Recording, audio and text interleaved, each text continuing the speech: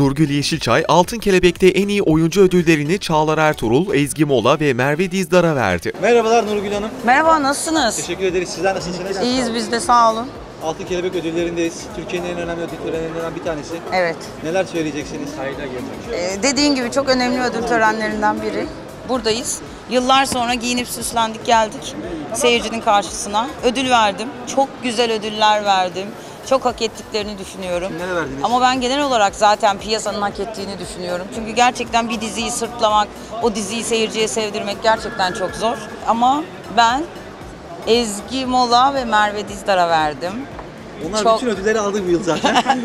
Ama hem çok başarılılar hem çok cesurlar, çok güzeller, çok akıllılar, çok hak ediyorlar. Hak eden başka çok arkadaşım vardı.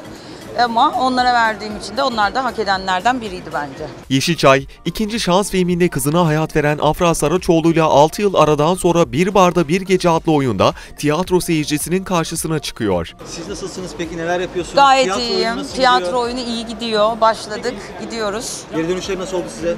Güzel oldu. Enteresan bir oyun bizimki. Afra Saraçoğlu ile beraber. Evet, Afra ile beraber oynuyoruz. İyi gidiyor.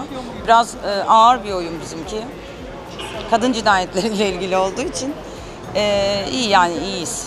Güzel ya o konuda bir farkındalık yarattığımızı düşünüyoruz. Yani şey yaptığımızı düşünüyoruz. Yani bakın biz de bu konuya duyarlıyız. Evet yani elimizden geleni yaptığımızı düşünüyoruz evet. Ünlü oyuncu yakında Son Nefesime Kadar Kod adlı dizinin çekimlerine başlayacak. Onun dışında neler yapıyorsunuz? Kilim tasarlıyorum.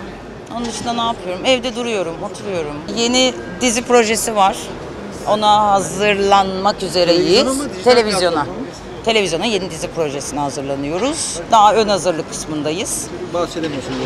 Yok bahsedemiyorum evet. Hayırlısı olsun ben pandemiden sonra çalıştım. Evet. Yani sinema filmi yaptık. Ama tabii sinemaların durumu ne olacak onu da bilmiyoruz. İyi gider inşallah. Seyirciyle buluşmak istiyoruz. Nurgül Yeşilçay, yapımcı sevgilisi Necati Kocabay'la evlilik planlarını pandemi nedeniyle ertelemişti. Evlilik planları yaptığınız sürekli hep ertelendi. 2021'e nasip olmadı ama. Bakalım inşallah 2022 hep beraber halay çekeceğiz. Hazırız değil mi? Hazırız. Tamam, ben de hazırım. bekliyoruz.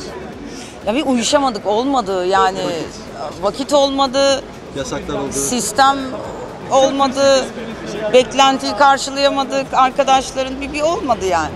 Olur inşallah ya hayırlısı her şey. Çok teşekkür ederiz. Çok İyi teşekkürler. akşamlar diliyoruz. Sağ olun. İyi eğlenceler. Yeşilçay hafta içi sevgilisiyle trafikte görüntülendi. Ne yapıyorsunuz? Teşekkür ederiz. Çalışıyoruz. Siz nasılsınız? Biz de çalışıyoruz. Aynen. Sizi gördük sizi. Her zamanki gibi çok güzelsiniz. Sağ ol canım. Nasılsınız? Nereye böyle?